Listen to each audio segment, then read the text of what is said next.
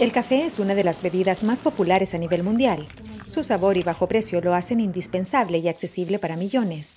El Salvador se ha caracterizado siempre por ser un productor de café. Hace tres décadas se producían más de 4 millones de quintales anuales, pero ahora su producción ha bajado significativamente. La última cosecha que, hemos tenido aquí es de 758 mil quintales. Diversos factores han impactado en la producción, pero el cambio climático es un problema que abruma a los productores.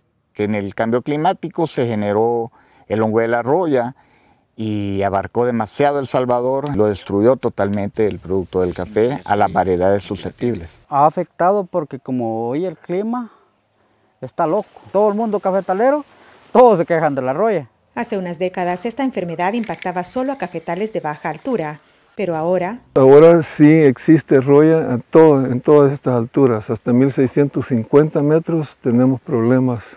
Los productores luchan por ganarle el cambio climático. Para sobrevivir, algunos buscan tierras más altas o siembran variedades de café más resistentes al clima. Quienes no logran adaptarse terminan por vender sus terrenos o migran a otros cultivos. Estos son sueños, son unos guerreros que estamos peleando. Tenemos que estar unidos aunque ahora una taza de café tiene un costo asequible, el impacto del clima en la producción podría hacer que en el futuro se convierta en una bebida de lujo. Claudia Saldaña, Voz de América, El Salvador.